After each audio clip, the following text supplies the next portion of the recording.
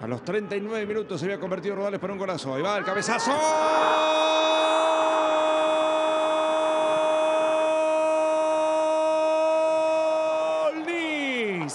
¡Gol!